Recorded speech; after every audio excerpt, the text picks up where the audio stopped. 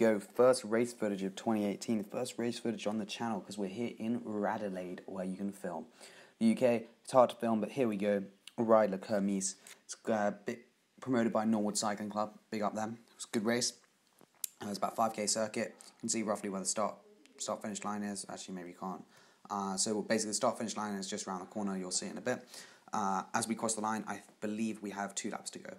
Uh, so yeah, it was really nice, really nice circuit. Um, oh no, one lap to go. Sorry. So there's A grade, absolutely flying past us. There's the all the pro riders pretty much. Um, so we were just we were cruising. Um, so I rode off the front at the beginning. It was pretty chill to be honest. Not not super hard turns. Basically, the, the other people just really like doing turns, and I was like, well, I'll do a couple turns, but I, like I don't really wear myself out because we still got a bit of racing left.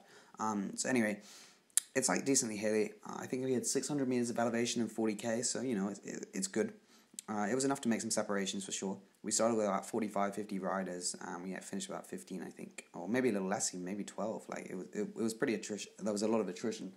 Um, so I'm second wheel here. Just I basically my I attacked at the beginning, saw if a break I thought a break would go or not. Um, decided they wouldn't, so I just sat in basically, just sat second, third wheel. I didn't really want to go too far back because if someone goes, it's just hard to respond, and it was it's really narrow because you can't cross the lines, unlike the UK often.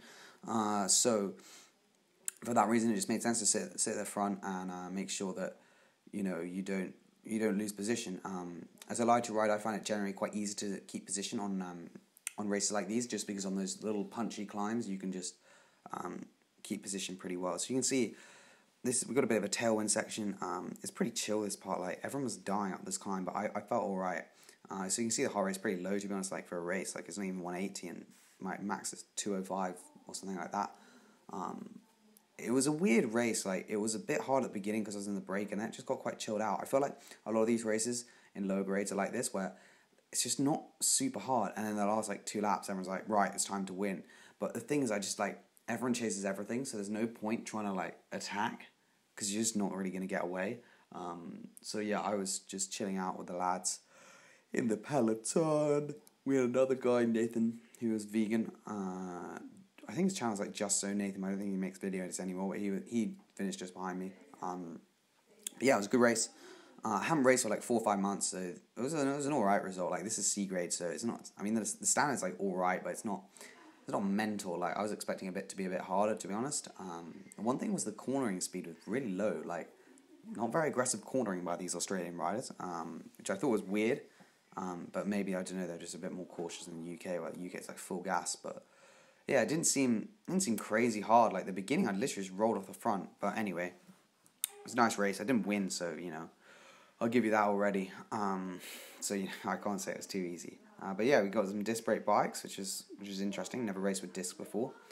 I guess it doesn't really make a difference in the dry. To be honest, I don't really see why you'd have a disc brake bike in Australia. I guess unless you want to do gravel, to be honest, because it's pretty dry or whatever. I guess, it, or you live in a hilly area, but Adelaide you don't really need discs to be honest. Um, I guess you have if you have them, you'll race with them. So you can see here, like we're going 38 k's an hour. It's not it's not mental. Um, so yeah, we have another another lap or so to go, I think. Um, so it's mainly just like staying out the wind. I'd say the, these races, just like figure out early on if you think a break's going to go or not, and if the break's not going to go, don't force it because you'll just end up losing energy and wasting energy. And like you might be off the front, but you're not like off the front enough that if even if they start chasing, they get you back because you'll end up just cooking yourself. It's better just to stay in the pack often at these races. Just chill out. Make sure you have good position. Just always have good position. That's one. What's my top tip I'd say because when you have good position, it just allows you to react to moves far easier, far easier. Um, and also you don't. If there's if there is a split, you can go with it, and also like round the corner, you get less of a chicane effect and the whole elastic band thing. So often if you're at the back, especially on really tight corners, you have to sprint from almost no speed up to like 30, 40, 50 k's an hour, whatever it will be. So, um, yeah, it's just important to have good position. Cadence, I, I really like having high cadence race. I really spin as much as possible. Um, on the climbs, it some, can sometimes be difficult. You're like, oh, maybe I should go and just stay in the big ring. Um, but often it's it's really important. There's there's some fans on the left. Um, you might recognize them. But often I find it's just important to like keep the gear really important, uh, like the gear really high, um, just just to save the legs. So you can see here, like I'm I'm just watching. Like I don't really want to make make an attack, but I just don't want anyone to go up the road because I knew there were a couple of strong guys who hadn't really like showed their hands or anything. So I was like, you know, I, I knew who was like, like often you'll see in lower lower class races where there's be there'll be people who work and then they're never they never feature in the end because they just do too much work early on. Um, it's like I could probably get away with that because generally I'm like strong enough to do that, but you'll see some guys they'll just do a lot of work early on and then they'll just be nowhere for the for the finish. So it's important just to say uh, save your energy. But you can see here like the wattage is pretty chill. Like I thought it would be like four hundred, like three fifty up here, like really smashing it. But like it's not even three watts per kilo for me. Like come on, this is just quite chill. Um, so you can see here I'm just moving back, like just maybe moving a little bit too far back. But I, I wanted to say top five the whole time.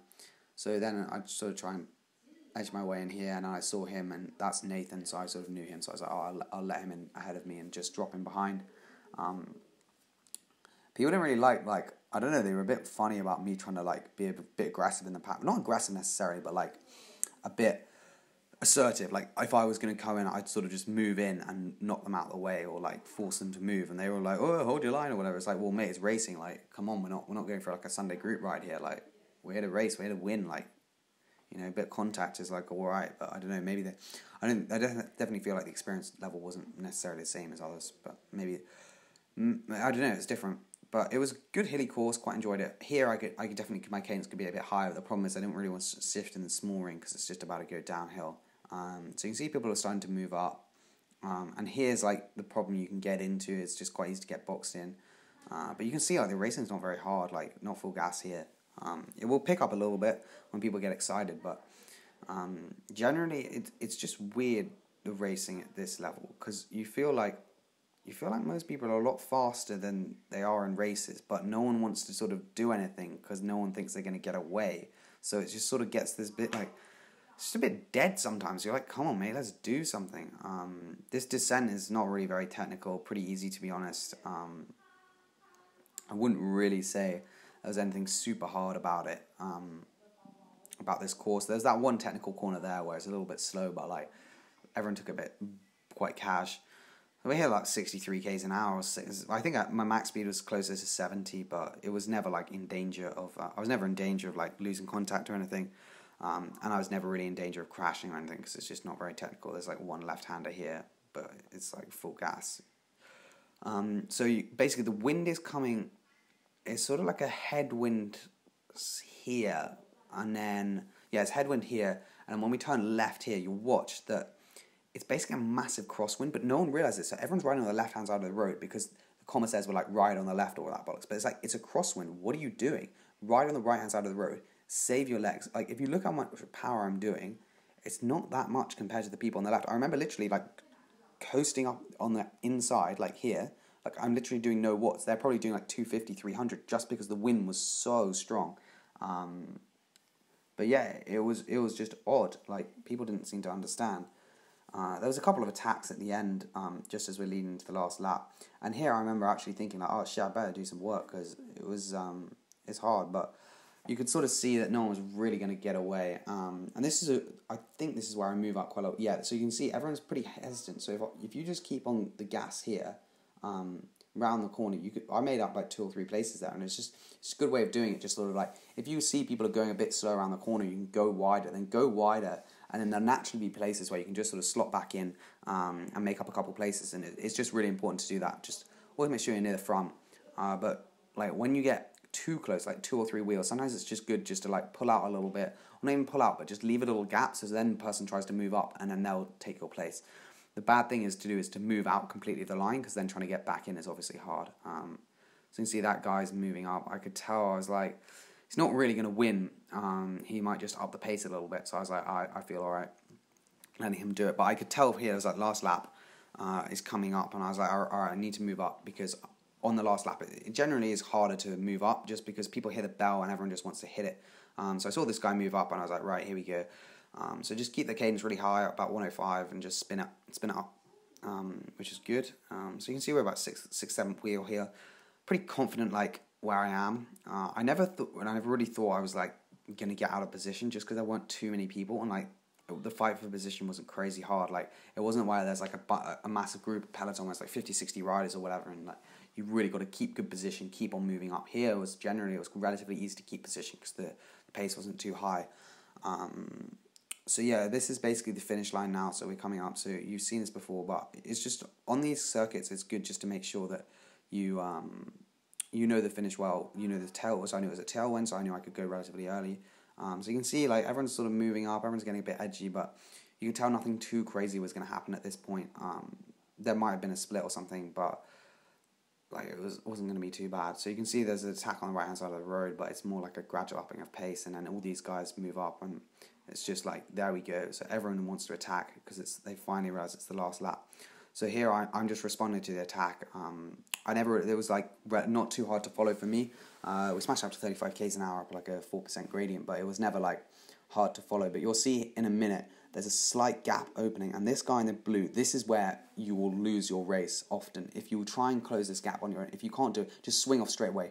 Don't waste your energy because what will happen is you waste your energy, and then the guy behind you will attack past you, and then it'll be super hard to get on the wheel. So if you are struggling, just pull over straight away, and then keep the speed quite high, and just try and do as much as you can to get on that wheel. So you'll see here, he goes now, will smash up to 600 watts, and this guy behind suddenly is like, oh shit He's going 60 k's an hour. He picked up about three or four, five k's an hour, and it's really hard to get on the wheel. Luckily for me, I had this guy to pull me across the, across the gap, which was pretty good. I, I, I probably could have done it myself, definitely, but it would have taken a lot of matches out of me, and it, it would have really suffered me for the sprint. Uh, luckily, this guy was actually ridiculously strong, um, especially on the flats, so it was fine. And you can see I'm barely even touching 200 on his wheel most of the time, just because um, the draft was so good. Um, and when you are going fast, or when you're just really quite tired, just just really concentrate on the aero position to just try and get as low as possible. For me, generally, because I'm a smaller rider, I can get super low and benefit from all the other guys. Um, so when it comes to the last lap, it's just the pace is generally a bit higher, maybe one, maybe one two k's an hour faster. Uh, people are a bit more like on edge, a bit nervy. This bunch wasn't too too nervy to be honest, so it was fine. Um, but yeah, you just need to watch out a bit more. Uh, just make sure, just make sure you keep your position. To be honest, make sure you just keep moving up. Um, here it's not as vital, but in bigger races, as I said, just keep make sure you're moving up. Because if you're not moving up, you're normally moving backwards. Luckily on this one, you could. Um, so you can see here the, the cornering speed is like, well, it's not great. Like you could pedal around that corner going full gas. Like it's not, it's not really crazy. I don't know if it was the cones that made people a bit like anxious. I don't really understand, but. So you can see here again, people are fighting for position. I, I mainly just wanted to just stay in the top five or six basically. Um, and there's no point going crazy to try and move up when it when it's full gas. But I knew like going out the corner, everyone tries to sprint really hard because they know that's where they might be able to get a small separation. But then after this part of the hill where it sort of ramps up a little bit, it, um, it sort of flans off, and that's where you can really recover. So even here, like it's sort of around threshold, maybe a little bit below. Which if you think for the final lap, it's it should be harder than this. Um, obviously, your legs are, are quite fatigued because I did a bit of work early on. Um, it was quite solid race to be fair. I was about 280 normalized power, and I'm 60, so you know, I wasn't wasn't bad, but it was about probably it was probably the same. I did a road race in the UK, which was like two hours and the same same pace as that, so it wasn't. Obviously, I was a bit fitter than now, but it was good fun racing. Really enjoyed it. There's some weird regulations in Australia, like you have to wear those weird hel- helmet hat things to so you, everyone knows what grade you are. And in this race, you had to have a rear flashing light. I was like, what the hell is that? I literally have no idea. It was super strange um, racing. Like, I don't really understand. Um, I'm going to make a quick video as well of how to race in Australia or a different country, um, or from my experiences. Uh, because obviously I have a British license, not an Australian license, but managed to race here, and it was pretty chill actually. Everyone was really nice, sorted me out, and um, much appreciated it. It's always nice racing in different countries, uh, just seeing how the how the cycling is. Should be racing Belgium at some point this year. Uh, maybe Thailand as well. Not sure. Uh, I just, just you know, any any races that is a bit hilly, then I'll enter them. Mm, maybe I'll even do some flat kermesses and just get dropped after like, like probably like half an hour. But we'll see. So you can see there's a bit of a bit of upping of pace, but like again, it's it's nothing crazy. So often if there's an upping of pace and you're you're feeling a bit gassed, just let the rider come through and just jump on the wheel.